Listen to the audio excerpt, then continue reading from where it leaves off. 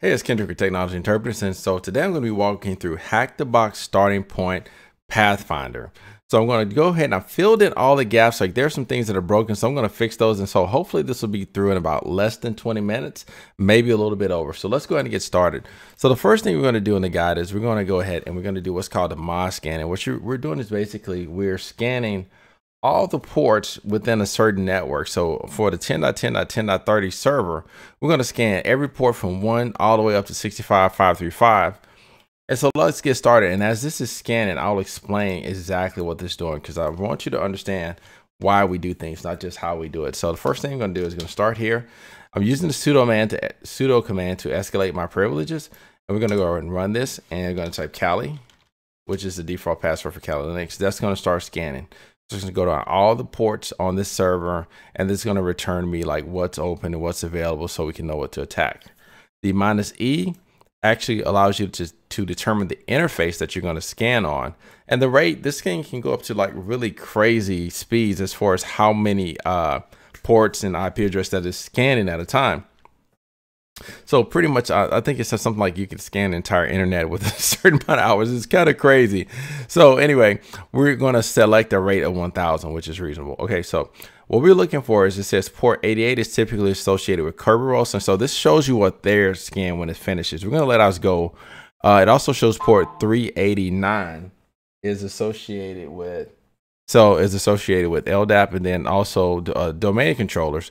And then finally, we note that WinRM is enabled, which is port 5985. Okay, so we got these different ports that we can attack. And so let's go ahead into the next step and let's see what it wants us to do. So it wants us to do enumeration. So if you were with us in the previous uh, videos, I went ahead and hacked some of the servers and I'm going in order. So we were able to get passwords for Sandra, which is password 1234. And so we can attempt to enumerate Active Directory, which we're going to like pull the list of users, groups, domains, forests, everything. We're going to pull this stuff out of Active Directory and we're going to use this to our advantage. Okay, so you can achieve this by using Bloodhound. There's a Python Bloodhound ingester that we can that can be found here. It can be installed using the pip install Bloodhound. So let's open a new tab, file, new tab and I'm going to pull this over so I can see all my notes here. So I've already done this. So really quickly, I'm just going to copy and paste. All right. So you can slow the video down. So pip install bloodhound. That's the command. Press that. Do you want to install? Yes or Y. Password Kali, K-L-I, K-A-L-I. And we're going to let this install. So next is going to say, once we got that installed, it wants us to run this bloodhound command. Guess what? If you try to run the command, it won't run. Okay, so I reset my VM because I wanted to. Uh, I wanted to make sure I got everything working. So you're gonna go ahead and select yes right there. By the way, I was waiting waiting for a prompt. Okay, so I'm gonna wait just a little bit and uh, let this run through its its install process. And make sure you pay attention. Once again, I did the pip install. I had to select yes. Everything ran fine. So here in our document, we, we do want to click on this because this shows us a, a piece that we need to install. But I've actually taken this and simplified it for us. Now I'm clicking this and it doesn't want to act right. Okay, finally it's there. Now it's going to open eight windows. But if you see here, it takes us to GitHub. And then here's the, the Bloodhound program and everything that we need to be successful here. Okay, so we're going to take this and I've simplified it. So what you do is you click on the code and you select this right here and you can copy this, okay? I've already got it typed out. You're gonna type git clone. Now, one thing to note, we do everything from, in this tutorial, we do everything from the downloads folder. So I'm gonna select, um, let's see, let's, actually, I'm gonna just clear this tab. We can, we'll just reuse this one. And then I'm gonna CD to downloads. All right, ls, make sure the downloads folder. Now I'm going to run this command. So git space clone and then the address we just copied. All right, that's running. Looks like everything was successful. Okay. So then I'm going to go ahead and change directory. So I'm going to type of ls so you can see. So that bloodhound.py folder is there. I'm going to go cd bloodhound. Go into that folder. I'm going to type ls again. And you can see I see the blood bloodhound.py command and stuff like that. But the thing is, we've got to install Bloodhound for it to run, okay? And so I'm going to copy this over from my document, and here's the command we're going to type, python 3 space setup.py space install. I'm going to type that command, now we're installing. Now, let's see, did everything work correctly? Just want to see, make the appropriate changes. Okay, creator removes permission not okay. So that was a problem. It didn't run. I'm gonna try sudo sudo and make sure you do that. sudo, which will escalate up. Let's see how much more we got. All right, that was successful. So make sure I'm gonna update my notes there. So should have put a sudo. We needed elevated credentials to do it. Now, here's the next phase of this. I'm gonna clear this again. I'm gonna keep reusing this window. So now we're here. We got that command, but we're not ready to run the command yet. There's a lot is left out in this tutorial. So it wants us to run this bloodhound.py command. So what we're to do is we're to do a locate and you'll see that it's not, it didn't find it. So I did locate, that's, that's what happened. Now I did my very, very rudimentary search, well, CD to the root, and I did a find pipe grep and I did bloodhound dash Python. And, oh, forgot the sudo, sudo space, fine. And when I did that, it got permission denied, but watch this. There it is, user local bin bloodhound py. It's actually there, okay? So it did install it on your machine. So now we've got to do some options to get this ready to copy. So I'm gonna go cd slash um, home Kali Make sure you pause the video if you need to, to do this. CD, all right. Downloads. Go back to my downloads folder, okay? Clear this out. Now, I've got the command typed out. Take time to do this. So I'm gonna reference that file with the credentials. Like they got all this stuff right here, right? That's not, not gonna work for you, okay? Here's the command that works, sudo python 3, and you're gonna do a slash user local bin bloodhound dash python. They, they just have Bloodhound dash Python. Minus D Megacorp, that's megacorp.local, that's your username. Or sorry, that's the domain. Minus U Sandra, minus P your password, minus GC, I don't know what that means. okay, Pathfinder local all, and then of course the IP address. And we're gonna go ahead and run this, and this should run correctly. So that's the working command. It's gonna connect to Active Directory. If you start to see these infos like this, you got it, okay? And so at this point, it's going through, it's identifying what is finding users, domains, domains in the forest, computers, 48 groups, the whole nine. Okay, so we got that. And then, so the, the JSON file should now be your working directory. So we're in downloads, remember. So if I type ls, boom, I got these JSON files. You see them? Very nice to have those. We want those. So now we want to, uh, let's see, it's going to need to be imported to Bloodhound, but Bloodhound is not ready yet. So let's go into the next command. So AP, sudo apt. Once again, sudo on all this. They don't put this in the guide. All right, sudo apt install neo4j. That's the next command. And I could really, I could really cut this down to five minutes. I could just run all the commands, but I want you to understand why I'm running all the commands. Okay. All right, and we're getting there. We're we're getting pretty good into the tutorial now. So we'll let this finish. Then we're gonna run the same command next time, but we're gonna install Bloodhound. Okay, that's going to be next on our list. So sudo apt install bloodhound. All right. But once again, we got to let this finish because we need all these programs in place. Trust me. I'm trying I'm saving you a lot of time. So sudo space apt space install bloodhound is next on our list. We just did that. So next we'll need to configure the Neo4 service we can accomplish by the, running this command. All right, I'm going to show you something. When this installs, I'm going to clear this window again. And then this window is going to have to be left open because it's one of those things that's going to run a program. It's going to open up a, a, a web port or a web browser or, or, set up a web browser or something. Or it's going to set up a web server. Sorry, I'm tripping. And so this tab will need to remain open for Bloodhound to run. So we're going to give it just a second. Hey, nice music from my Apple Watch. Spam detected. Good deal. Good deal. Good deal. Okay. All right. And so we're finally finished. So let's go ahead and clear that. Okay. Not this. Jeez. Gotta make sure I'm on the right window. So clear that window. And ah oh man, I put it in the previous next mode. That's okay. I'll work with it. So now that we've got that Neo Bloodhound, we're gonna go on to page four. And okay, I, am finally in scroll mode. Thank you. Good. Okay, so it wants us to start the console. So it says Neo. We're gonna do sudo Neo 4 J start console. Okay think I left out the start there. Actually, no, I didn't. That command is wrong. It doesn't work. It's just sudo neo4j console. And there it is. Doesn't look like this is working, but it is. Wait for it, and you're going to see it's going to come up with a a um, address, IP address, and a port. And this is what's going to be needed for Bloodhound to run. So that command is work wrong. sudo space neo4j space console is the correct command. Okay. Not start. Took me a while to figure that out myself. Okay. All right. And so then uh, we'll wait. And I'm just going to do this. Let's see. With, uh, I want to get it off this scroll page. I hate this. but we wait for a second, let this finish, and then we're going to start our Bloodhound command here. And you'll see Bloodhound, this will need to be stay, stay up. All right, so you see we got this local port, localhost 7474. Leave this tab open. We're good to go. New tab. And now we're going to run Bloodhound. And of course, you know, when something runs and it leaves a tab open like that, you need to leave that terminal window. So Bloodhound, just like in the, in the diagram, and there it is, Bloodhound opens. And of course, that terminal needs to stay open. Do not close that.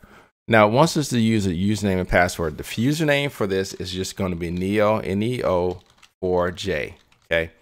Password, we don't have a password, so we need to generate a password. How do we do that? We got to go to the address here that it just showed us in the uh, text, but that's okay. I got you here. So I'm going to do, uh, do, do, do a new tab. Uh, we don't need that. I actually need to go to the browser. There you go. I was looking for the plus sign. So we're going to go to localhost here. Got to set up a username and password. I've already got one, you know, but I'm going to auto-gen it because I want you to see the entire process. All right, there it goes. Neo4j database leave empty of default. Uh, authentication, username, password. Username is Neo4j, but see, we don't have a password. So we need to generate a password. So by default, it's Neo4j and Neo4j. All right. And I'm going to click don't save here. And let's see if we can. All right. So still connecting. Give it a second. All right. Now I want us to set up a password. Remember, username is Neo4j. I'm going to auto generate password. Okay. My password ain't your password. So you write down whatever's generated there. So there's the auto-generated password that we're going to use. All right, and I make sure you copy out all of that, okay? Make sure you get all of it in home. I'm just going to copy it twice just to make sure. I strongly suggest you do the same thing. Okay. All right, and then it did good, and I'm going to click change password. So now that is our password. Do not mess this step up, or you're going to have to figure out how to change the password. So now that I've changed the password here, I don't need to do anything else. I go back to Bloodhound, which I left open. Hope you didn't close yours. Neo4j, paste the password that we just generated.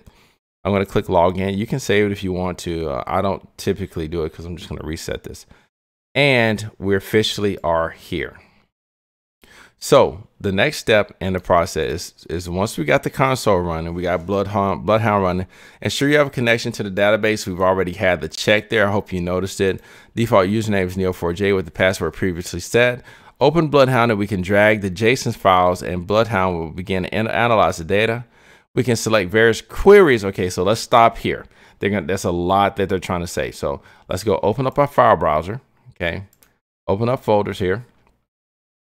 Gonna drag it over here, go into the downloads folder. And if you notice there are JSON files. One, gonna control click all of these, four JSON files.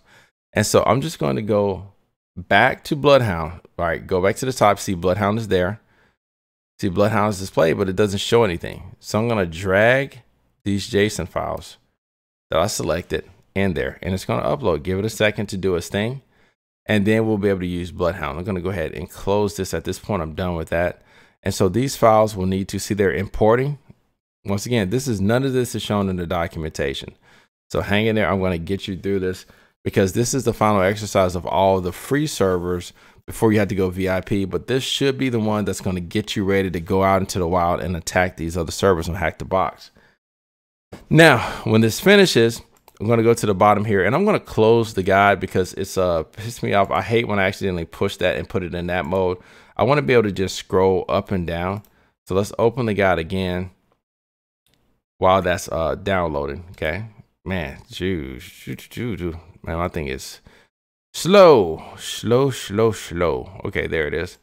All right, so now I got it in the mode I wanted to. I'm gonna cancel this.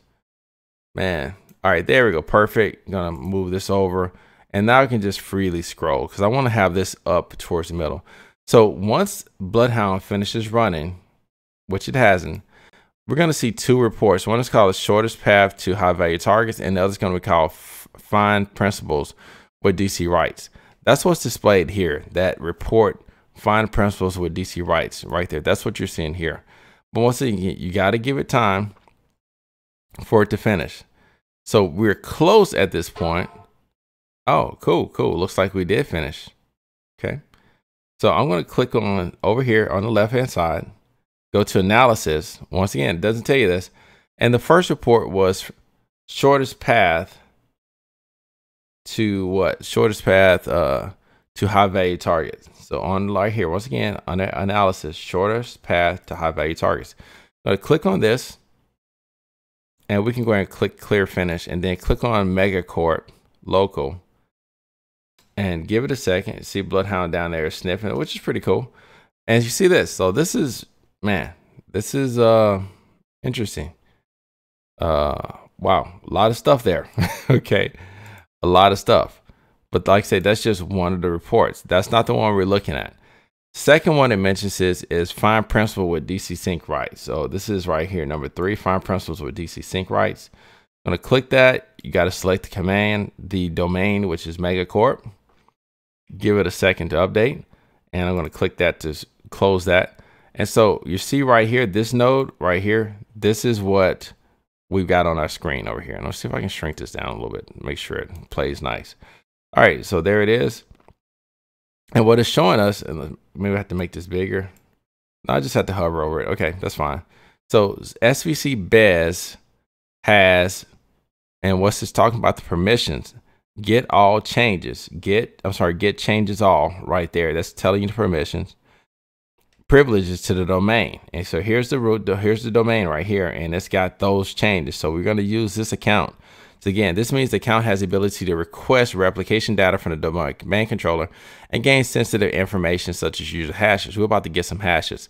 So what it wants us to do is worth checking to see if Kerberos pre-authentication has been disabled for this account, which means it's vulnerable to a ASREP roasting account. Okay, AS, I don't know if that's ASREP or whatever. Anyway, we can check this using a tool such as Impact Get NP users. That's what it wants us to do. Here's the command. Let me consult my guide over here because I can tell you most of the stuff didn't work right. So JSON this is located in the down folder. I got that. So what I did, and I'll walk you through this. Where's that file? Locate. And why don't I just copy this? Okay, save some time. So what I typed was locate, and I want to find that Python script. Okay, Control Shift V. Because once again, if you're on Kali Linux, a lot of stuff is already on the box. So I did locate command it wasn't there. Okay, so that's not good. So I was able to find it eventually. And where I found it was, by the way, it's oh, I had a mistake there. There it is. Okay. So user shared document Python 3 package, that's where it's located. So the next step, and you might have to slow it down here because I'm about to go fast. Okay, so I'm going to copy that sudo space copy user local bin uh, get np users.py to Python. So I'm basically copying this to the directory. So I'm going to change this though. Here's the deal. Remember downloads. We work from downloads in this tutorial. I don't know if that's the best way, but it works for me. And because the download folder doesn't have funky permissions that cause things to break.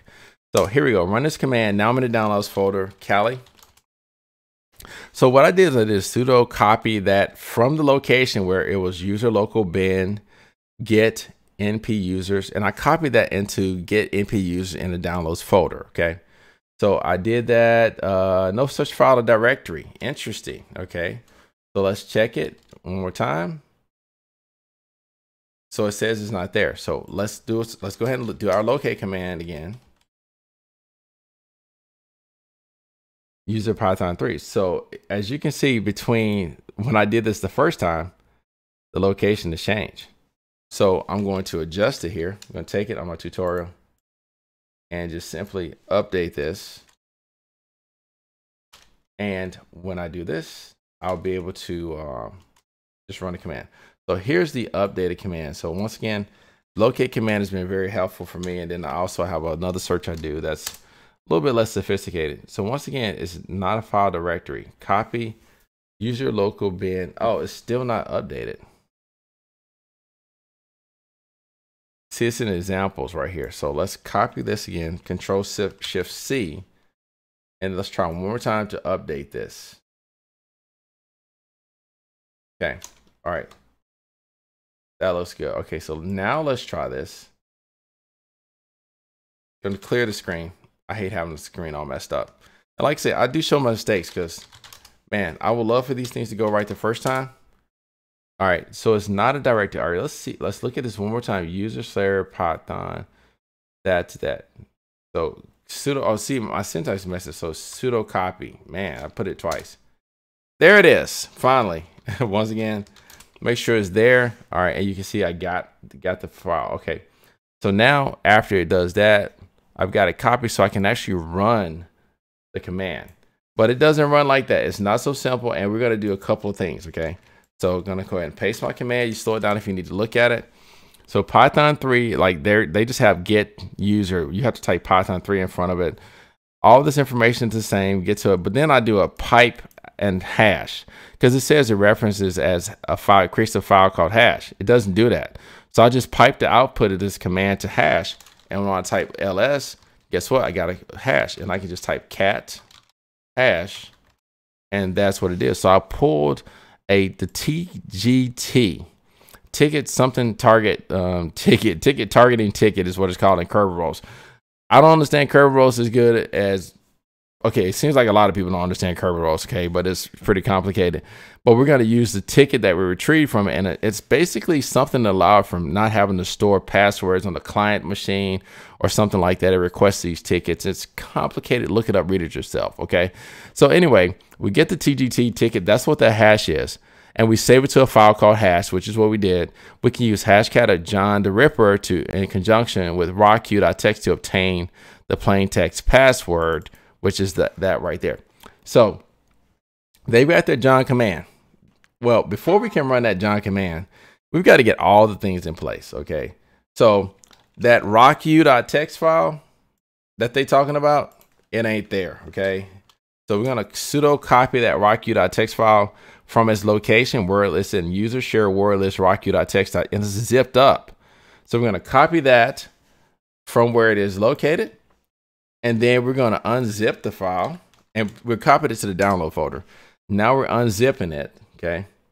And when that finishes, do ls, guess what I got? rocq.txt right there. We got the file. So now I'm to run John against the hash that we downloaded, John the Ripper. And it's to go ahead and it's to work on that hash. Now, what you got to do here is you got to let John do his thing, okay? Just let it go. I just look at the first line using default encoding UTF-8. That's the same. Loaded one password hash. All right, and you see down here, it's it's got ways to go. It's going to pull up this password Sheffield 19. It's going to get that for us. And by the way, we're getting close to the end of the tutorial. We're working our way through this. All right, and so you'll see, and we're going to get the first flag, and I'll tell you how to do all that good stuff. So, but right now, it's just about patience and we'll see. So it's possible to access the servers using what's called WinRM and gain uh, user.txt. So user.txt, that's going to be the user flag. Remember these servers have two flags. They have a user and a root, a user and a system flag is what they call it. So when we get finished with this command, we'll be able to get the user tag and uh, user flag in just a second. But it does require patience and we can't really move forward until this command finishes okay so let's let it do its thing and then we'll install this evil WinRM and we'll run that command and stuff that with the username and credentials that we've got john usually is through by now okay so it got me talking got me filling up some space but Just bear with me. Okay, there it is finally. Okay, and you can see, look at that, Sheffield 19. We got it. We got the password. We were able to crack the hash. But before we can do that, um, this command right here is evil gem. Guess what? That don't work. it does not work. So we're going to sudo it, okay, because we need to elevate our credentials. And we a little bit, let's clear this up. Control Shift V, sudo and run that. And you'll see what happens, man. We're, we're, we're jumping on, like it runs through this thing, installs a whole bunch of stuff. If you don't do sudo, you're to see it doesn't do half of the installation, it fails, and you're to have trouble. So uh, when in doubt, go ahead and escalate your privileges using the sudo command. Okay, it'll save you a lot of trauma and trouble. Okay, and uh, man, this video is already 25, man. But it's it's, it's not so it's not easy to do these things fast. This is a lot of steps. All right, so we're able to get that. I'm gonna go ahead and clear again. Got that installed, and now we're gonna run a second command, the evil win rm Control Shift V, paste that. There's command. You can always stop it and look at my commands. Guess what? Boom, we got a shell on the server. First thing you want to do, we're already in documents. We're gonna go cd dot dot, go up one folder, and then we're gonna go to cd desktop. And then we're gonna do a directory because we're in Windows. Oh, there's user.txt. We're gonna type user.txt txt. Type command allows us to display it. There is the first flag, control shift C. I'm gonna take this, go to hack the box, click submit flag right here, paste that flag in there, choose your difficulty. How difficult was this server to you? Be honest with it. And then hit submit flag. I'm gonna get an error message because I've already done this. Like I said, I do my prep work with these exercises. All right, so we have the user type. So we're getting close to the end. We found that. So now we need to go to the next step. All right. And so before we can do this, it wants you to type this secrets dump. Guess what? The file is not there. It's not there already. So we're going to have to do another copy and copy this. So you can, I'm going to leave that, by the way, don't mess that up. Leave that open. And I'm going to type locate secret dump.py. Boom. There it is. I have locations. Let's see if any of these match what I have. User local bin, user local. Mm -mm. Nope. So I got to change my documentation to match what we have here. So uh, let's see which one do I want to take. Shared Python 3 package. We got several choices. So mine are a user local bin, but in this exercise, once again, I reset my VM. So what I had installed is no longer there. So I think what we can do, for example, is we'll take this one for M. Control Shift C. I'm going to copy that, okay? And then I'm going to update my command here my, in my document. All right, and so we'll copy this one. And if it doesn't, we got other locations. So here's a command, sudo copy user share local docs python 3 in packets dash in packet examples. Okay, and we copy that. Kali. Okay, so we got that. But we made a mistake. Guess what? Not in the downloads folder. So I'm going to, I'm going just going to delete it. D or RM secret secrets. Yes. Get rid of that. Change downloads. Okay. Clear. And now I'm going to run that command again. Just up arrow three or four times right there. And now I'm going to copy it. And so there's the secrets dump. So now that I've copied that, I can actually run the command. Okay. So control shift V, there's the command right there, Python 3 secrets dump.py, DC IP address, megacorps. Okay, there is dump and it's in, and I, oh, so I made one adjustment. I'm dumping mine. So you run the command, it just shows that on the screen. I like to create a file with the output. So I send it to dump hashes. All right, so then we're gonna reference that later. So I'm just, instead of just printing out the screen, I'm dumping it into a file. And when this finishes running, but we're literally dumping at this point, uh, we're dumping all the hashes for administrators. So in order to get the leverage to get changes all permission, we use impact and secret dump to perform DC sync attack and dump the NTLM hashes of all domain accounts. This is a very noticeable attack, okay? So now that we got it, remember dump hashes is the file I create. I'm gonna type ls and you should see dump hashes, which is there. So I'm gonna cat dumped hashes and that shows it right there. Now what we're looking for for the next command, and we're literally at the end. So I hope you made it here. Congratulations for making this point. Don't forget to subscribe to my channel. I have tutorials and I'm continuing to walk through things like this. So join me on my journey to become a great hacker one day, hopefully. So use the domain of the administrator NTLM hash. We can put, using that, we can um, use this in a PTH attack to gain elevated access to the system for which we can use npackage psexec.py. Guess what? It ain't, you can't just run a command. It ain't there. But let me tell you something. The administrator account, the way you know the administrator account is 500 administrator colon 500 right there. I think that's, I don't know if that's a SID, the SSID, but that's what you're looking for. And that's what we're going to use in the next part of this. But before we can do this, let's go ahead. Let's clear this. Actually, I'm going to leave that tab because you'll need to reference that. So we need the Python uh, or psexec.py. So guess what? Locate psexec.py. And let's see where we got. So we got choices. Let's see if they match up with what I got in the tutorial. I had user local bin. Guess what? It ain't there. So we can use user share, share Python 3 and packet. We'll use that one. So copy this. Okay. This location. Control Shift C update my documentation because we got to copy several files.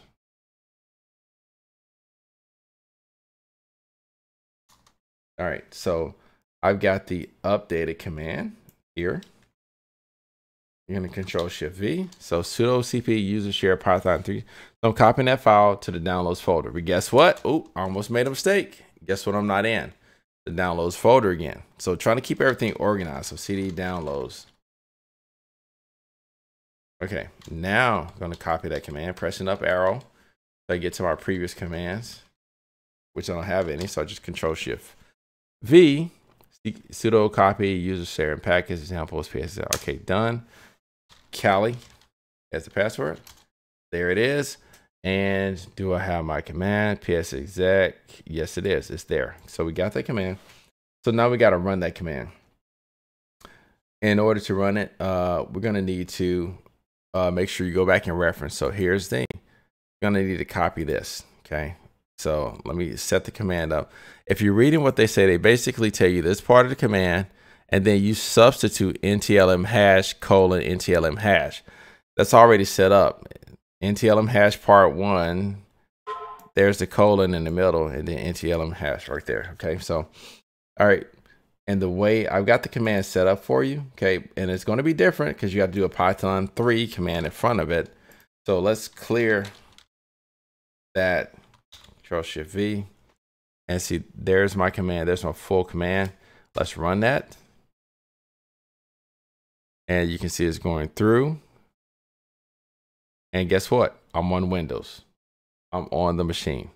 So all I have to do now is I have to navigate to the desktop of the machine. The way that I do that, I've already done the research. I know what it is. So CD, C colon user administrator desktop. I'm at the desktop, type of directory. Guess what I see? root.txt. And Windows, instead of cat and Linux, you're going to type root.txt. And there is your flag. I'm to copy this, Control Shift C. Going to go back to hack the box. Click on submit a flag paste it here and choose your level and submit that. I've already owned the box. I got both flags and you're finished. Don't forget to drop a like on this video, especially if you made it to the end. Don't forget to subscribe to the channel for everything hacking. Have some very interesting interviews with people who are working in the industry, telling you how to get into it. Hope this was helpful. Thanks again for watching.